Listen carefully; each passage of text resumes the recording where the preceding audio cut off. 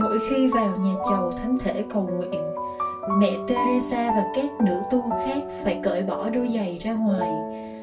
Khi thấy đôi chân của mẹ teresa méo mó biến dạng, các nữ tu khác rất lo ngại vì không biết mẹ teresa có bị lây nhiễm bệnh phong cùi từ những bệnh nhân mà mẹ chăm sóc không.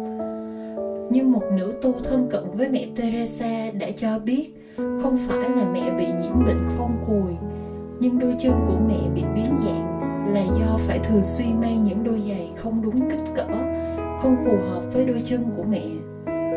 Nữ tu này giải thích thêm, khi có các chuyến hàng từ thiện là những đôi giày do các nhà hảo tâm gửi tặng.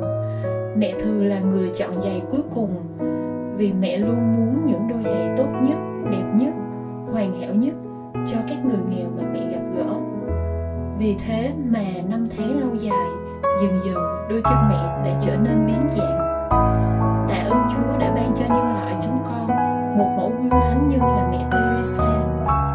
Để qua mẹ, chúng con biết thế nào là tình yêu trao ban giữa người và người. Xin chúa thương giúp chúng con sống được tinh thần khó nghèo, bác ái yêu thương, quên mình phục vụ, giống như mẫu gương thánh nhân là mẹ teresa.